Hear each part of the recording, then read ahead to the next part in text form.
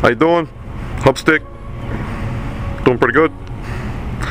So anyways, so as you know, I've got a few anger issues, you know, and uh, so guys here at the hub recommend I take a little art therapy, try to chill out a little bit, get a little crazy sometimes. I'll be the first one to admit. So they brought in some girl, and I guess we're gonna do some art, and uh, you know, try to uh, tame this lion. You know what I'm saying? All right.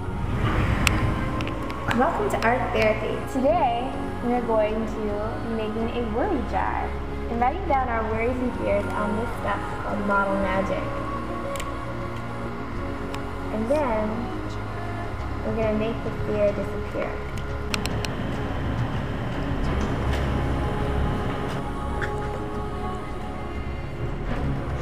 Very interesting, Stick. Make sure you write your fear on that and put it on the cup.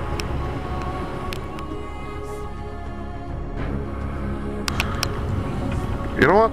I gotta say, I felt pretty good. Had a good time.